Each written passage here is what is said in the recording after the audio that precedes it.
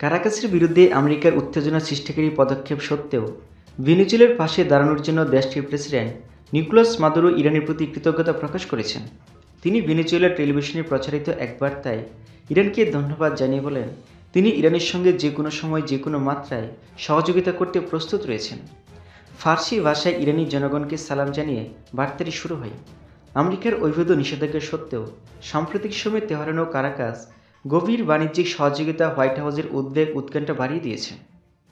Iran থেকে পরিশোধিত তেলবাহী কয়েকটি ট্যাঙ্কার ভেনেজুয়েলার উদ্দেশ্যে রওনা দিয়েছে বলে খবর পাওয়ার পর মার্কিন সরকার ক্যারিবিয়ান সাগরে নৌবাহিনী পাঠিয়েছে।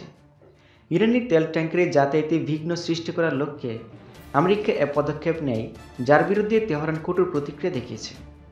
ইরানের প্রতিরক্ষামন্ত্রী ব্রিগেডিয়ার জেনারেল আমির হাতামি তার দেশের তেল ট্যাঙ্কারের প্রতি আমেরিকার যে কোনো ধরনের হয়রানিমূলক আচরণকে আন্তর্জাতিক নিয়মনীতি এবং নিরাপত্তার লঙ্ঘন হিসেবে আখ্যায়িত করেছেন। একই সঙ্গে তিনি বলেন, আমেরিকা এবং অন্যদের ভালোভাবে জেনে রাখা উচিত যে যে কোনো হটকারী পদক্ষেপের বিরুদ্ধে কঠোর এবং অত্যন্ত শক্ত জবাব দেওয়া হবে।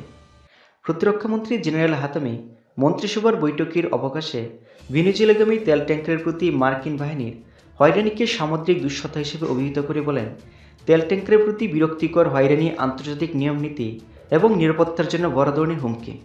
তাই যেসব আন্তর্জাতিক সংস্থা এবং দেশ সমুদ্র, আইন এবং নিরাপত্তার ব্যাপারে অত্যন্ত সংবেদনশীল তাদের উচিত, এ বিষয়ে শক্ত প্রতিক্রিয়া দেখানো।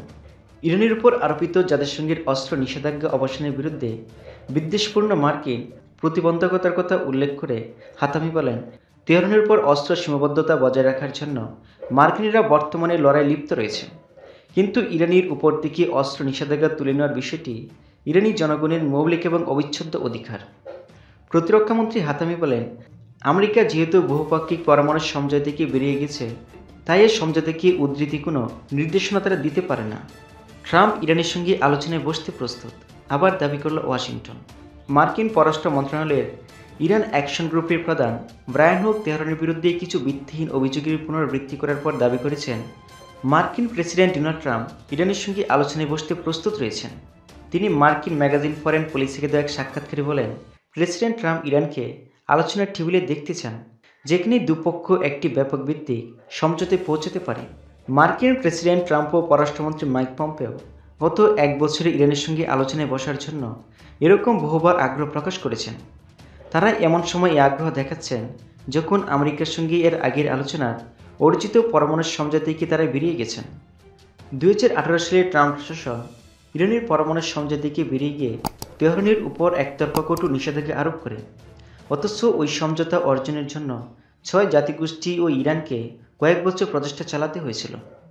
ইসলামী ইরানের সর্বোচ্চ নেতা আয়তুল্লাহি উজমা খামেনি আমেরিকার আলোচনার প্রস্তাবের জবাবে দুই হাজার উনিশ সালে দেওয়া এক ভাষণে বলেছিলেন, ইরানের শক্তিমত্তা খর্ব নিরস্ত করা হচ্ছে আমেরিকার এই আগ্রহের প্রধান কারণ। আমেরিকা মুখোমুখি সংঘাতে ভয় পেয়ে আলোচনায় বসতে চায় জেনে তিনি বলেন আলোচনার মাধ্যমে ইরানকে নিরস্ত্র করতে পারলে এরপর ওয়াশিংটন তেহরানের সঙ্গে ভিন্ন আঙ্গিকে কথা বলবে। তিনি আমেরিকার আলোচনার প্রস্তাব সরাসরি প্রত্যাখ্যান করেন।